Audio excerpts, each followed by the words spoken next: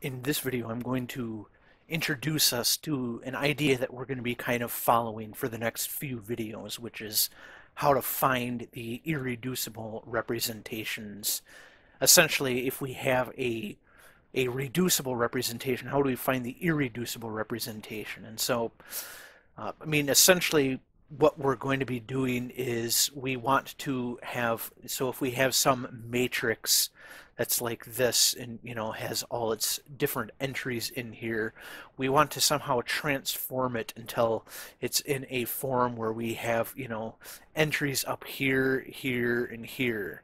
And so then everything else would be zero. And so we want to block diagonalize it. And what that's going to do is essentially if we have some n-dimensional space, so we have some n-dimensional space, we want to turn it into something that has a, I guess, m-dimensional subspace plus, you know, some, I guess, s-dimensional invariant subspace. And so we essentially want to sort of partition our our entire space into two subspaces, one of which is invariant, and then the other one is one that we can essentially get our our uh, irreducible representations from. And so in order to do that, the first thing I'm going to do here is introduce us to this idea of the direct sum. And so the direct sum is essentially if we have matrices, we add them up and put them in, into the diagonals. I mean, we don't even add them. We're essentially just sort of arranging them, each of our matrices, into the diagonals of a larger dimensional matrix. And so, for instance, if we have these two 3 by 3 matrices, then the direct sum would be something like this that would give us a 6 by 6 matrix, where one of them is in that diagonal and the other one is in that diagonal. Then the sort of off diagonals here uh, are all zeros. So we end up with a 6 by 6 matrix that looks like that. Uh, so where the original matrices, as I said, appear as diagonals, uh, diagonal blocks in a new higher dimensional matrix. And so that is the direct sum. Uh, so we can, you know, have it like this. And we can do that for any of the group elements. So we have these two mappings here of our group elements into matrix representations. We can then form these block diagonals of all of the matrix representations of each one of our symmetry operations, each one of our group elements.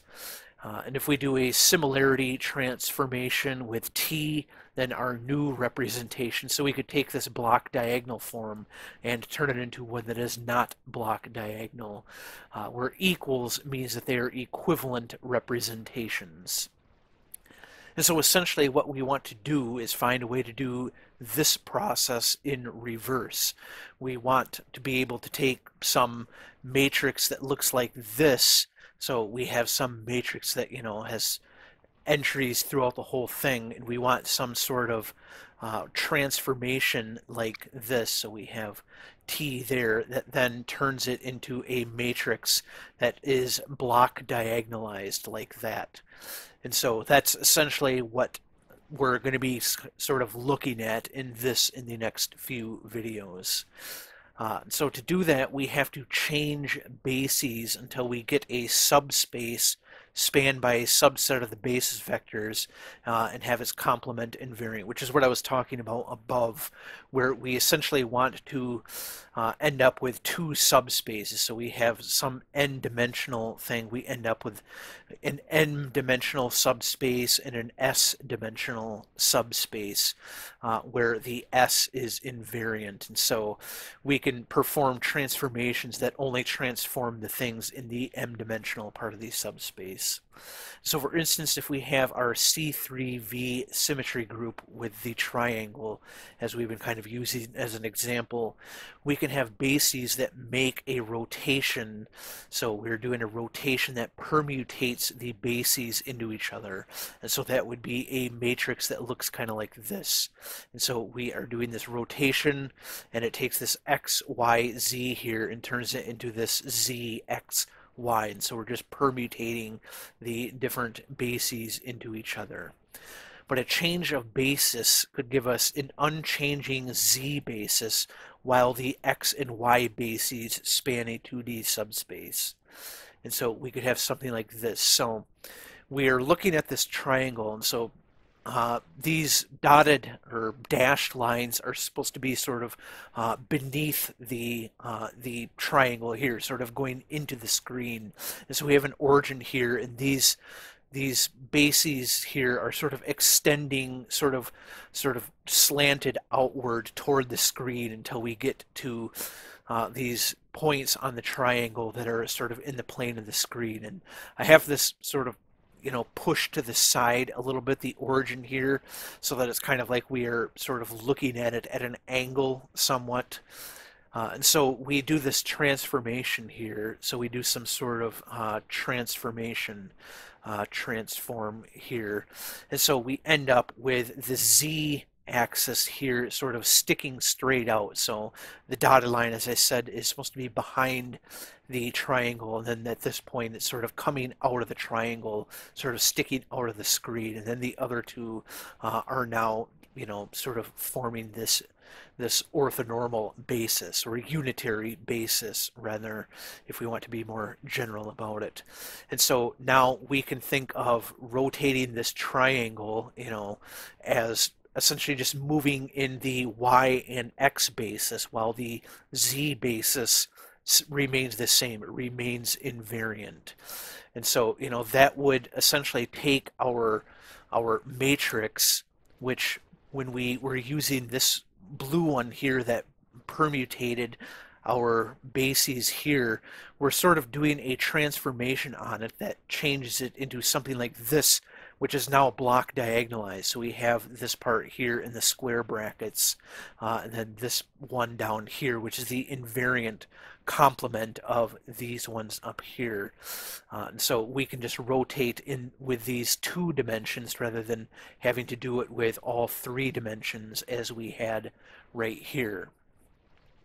So any mapping in the 2D subspace will have its image in that subspace. And so essentially what that means is this 1 here, this z, just stays invariant. And so it's only in these two dimensions here, this subspace here, where the transformation is actually happening. And so we can say more generally, when by means of a similarity transformation, if all the matrix representations which form a group representation can be brought into this block form, which is what we did up here, then the representations are completely reducible. So geometrically, this means that we can find a basis in the representation space consisting of two sets of vectors, S and P, which are uh, which are subsets of G, and where they don't uh, have any intersection, uh, and so they are not mixed by a mapping of the group. Uh, and so that's essentially just saying that we have S and P. So we're saying that this part here in the square uh, brackets is S and this one here is P. And We see that they, they don't have any intersections, so there isn't any component of the sort of S ones here that go into the, the P subspace and vice versa. And so that's, you know, basically what this is saying. And then such a basis is uh, said to be adapted to the reduction of the representation. Right, so the book I'm using gives these basic theorems here, which are sort of necessary for being able to perform this process. And the book goes through the proofs, and my lecture notes uh, have the proofs in it. I'm not going to go through it in this video. If you are interested in the proofs of these, then you can check out the lecture notes linked to in the description down below. I've tried to make it as sort of thorough and intuitive as possible, but like anything when it comes to proofs of theorems, it's all very abstract and you know to me at least in a, in a video series like this it ends up just being somewhat sort of I don't know unsatisfying I guess to go through the proof. Uh, but essentially what what we are doing is we take these three theorems here. So any representation of a finite group by a non-singular matrices is equivalent to a unitary representation. Uh, so two unitary representations are equivalent. Uh, then it is possible to find a unitary matrix which relates them according to a similarity transformation. Uh, and if a matrix is reducible to this sort of triangular form here, then it is completely reducible to this block diagonalized form. And so using these three theorems here uh, is essentially what will allow us to do uh, what we were doing above. Well, these three theorems plus Schur's lemma, which I'm going to talk about in the next video, and I'll I'll probably actually go through the proof of that one. I think that one's a little bit more satisfying. But uh, essentially, we're going to be using these three theorems and Schur's lemma. And so taken together, it establishes the possibility of a complete reduction to unitary form by unitary transformations. And so essentially, we can repeat the process until we get block diagonals that look like this. And so, like I said, that's kind of what the next couple videos are going to be focusing on here is this sort of being able to take reducible representations and turn them into irreducible representations. And so when we have something that, you know, has this really high dimensionality to it. We want to be able to reduce it to the lowest dimensionality possible, you know. And as we've seen in previous videos, you know, getting something that's sort of one by one is somewhat ideal, but we've seen that we have those those two by twos, which are uh, sort of represented in our character tables by the E, and we can even have the three by threes, which show up in our sort of cuboidal sort of symmetry groups. Uh, but, you know, if we have something that's, you know, sort of n by n, where, you know, n is sort of you know greater than I guess three even, uh, then you know we want to be able to reduce it into these forms, into these sort of simplest irreducible forms. Uh, uh, but anyway, I hope you found this sort of introduction to this idea uh, helpful, and I will see you in the next video.